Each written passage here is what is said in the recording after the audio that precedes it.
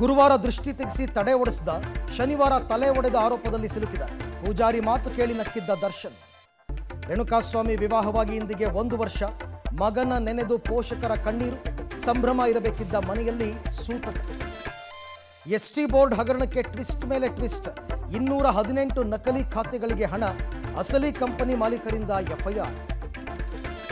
ನಂದಿನಿ ಗ್ರಾಹಕರ ಪರ ನಿಂತ ಕೆಎಂಎಫ್ ಮುದ್ರಿತ ಬೆಲೆಗಿಂತ ಜಾಸ್ತಿ ಪಡೆದರೆ ಲೈಸೆನ್ಸ್ ಕ್ಯಾನ್ಸಲ್, ಮೊಸರಿನ ದರ ಏರಿಕೆಗೂ ಚಿಂತನೆ. ಇಂದು ಟಿ ಟ್ವೆಂಟಿ ವಿಶ್ವಕಪ್ ಹೈ ವೋಲ್ಟೇಜ್ ಮ್ಯಾಚ್. ಕಪ್ಗಾಗಿ ಭಾರತ, ದಕ್ಷಿಣ ಆಫ್ರಿಕಾ ಫೈಟ್, ಟೀಂ ಇಂಡಿಯಾಗೆ ಶತಕೋಟಿ ಪ್ರಾರ್ಥನೆ.